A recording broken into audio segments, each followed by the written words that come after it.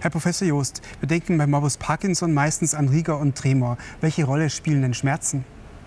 Schmerzen sind ein sehr großes Symptom bei Parkinson-Erkrankung. Man kann sagen, fast genauso häufig wie die Symptome, die Sie eben genannt haben und genauer genommen sogar häufiger noch als der Tremor. Warum werden denn Schmerzen oftmals in der Praxis nicht oder auch zu spät erkannt? Wir haben in den letzten Jahrzehnten uns immer sehr auf die motorischen Symptome begrenzt und nicht daran gedacht, dass die Patienten auch nicht motorische Störungen haben, wie Schlafstörungen, wie Schmerz äh, etc. Und die Patienten sind deswegen mit diesen Symptomen zu anderen Fachdisziplinen gegangen, zum Beispiel Orthopäden oder zum Hausarzt. Wenn Sie jetzt einen Patienten in der Neurologie sehen, wie gehen Sie bei der Diagnostik vor, um eben die Schmerzen zu erkennen, aber auch soweit es geht zu quantifizieren? Ja, zuerst lasse ich den Patienten mal allgemein seine Beschwerden schildern.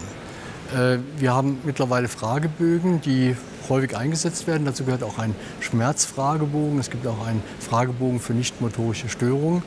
Äh, ich persönlich frage danach, nach Schmerzen spezifisch. Im nächsten Schritt geht es dann natürlich um die Behandlung. Wir haben ja mittlerweile eine relativ große Auswahl an Wirkstoffen zur Verfügung. Wie gehen Sie systematisch vor, abhängig von der Art des Schmerzes?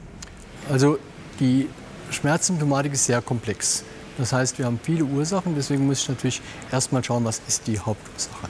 Wenn es Rigor und Akinese ist, dann versuche ich natürlich erstmal optimal die Parkinson-Erkrankung zu behandeln. Das heißt Dopaminergika, L-Dopa, Dopaminagonisten etc. Wenn es Fluktuationen sind, dann werde ich einen COMT-Hämmer, einen MAO-Hämmer dazugeben, um die Fluktuation zu kletten oder zu reduzieren. Wenn es mehr die Nachtproblematik ist, dann gebe ich etwas zur Nacht, auch zusätzlich oder eben glättend äh, für die äh, Nachtphase. Äh, das wären so die ersten Schritte. Und danach schaue ich, ist es muskuloskeletal, ist es neuropathisch?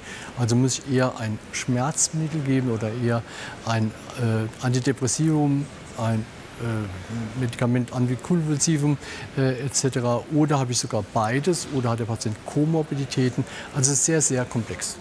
Welche Komorbiditäten sind denn häufig Ihrer Erfahrung nach? Aufgrund des Alters sind natürlich rheumatische Erkrankungen häufig, degenerative Erkrankungen, aber am allerhäufigsten dürfte die Depression sein. Wie würden Sie da in dem Fall vorgehen? Welche Wirkstoffe, Wirkstoffgruppen empfehlen Sie bei Depression und der neurologischen Erkrankung? Also wir versuchen natürlich Medikamente einzusetzen, die wenig Nebenwirkungen haben. Das heißt, viele der Antidepressiva sind nicht kontraindiziert, aber doch mit Nebenwirkungen belastet, sodass wir meistens heutzutage Serotonin, Noradrenalin Wiederaufnahmehemmer geben. Also Duloxetin, aber auch Venlafaxin, Milnazepran. Es werden natürlich aktuell zurzeit äh, Cannabinoide und Cannabis sehr kontrovers diskutiert. Wie ist Ihre erste Einschätzung äh, zur Verwendung? Ein sehr schwieriges Feld, weil auch das Spektrum der angebotenen Substanzen sehr groß ist. Viele haben psychotrope Effekte, manche haben keine. Die Datenlage ist begrenzt. Ich persönlich bin sehr zurückhaltend mit Cannabinoiden. Und nicht zuletzt äh, Bewegung oder physikalische Therapie. Wie sind Ihre Erfahrungen in dem Bereich? Ein ganz wichtiger Aspekt, den Sie nennen, weil die Patienten sich regelmäßig bewegen sollen. Sie sollen entweder Sport treiben oder eben spezifische Physiotherapie bekommen, aber Entscheidend ist, dass sich ausreichend bewegen. Am besten das, was Spaß macht. Ob das Tanzen ist, ob das Spaziergänge, Radfahren oder was auch immer ist. Das ist ganz wichtig, sowohl für die Parkinson-Erkrankung als auch für den Schmerz. Das bedeutet das natürlich auch in gewisser Weise, sich aufzuraffen. Ähm, wie sieht es denn mit der Patienten-Compliance aus, gerade mit den, in diesem Bereich? Das schwankt sehr. Wir haben einige, die sehr engagiert sind, die man stellenweise sogar ein bisschen bremsen muss, weil sie versuchen, die Krankheit zu besiegen.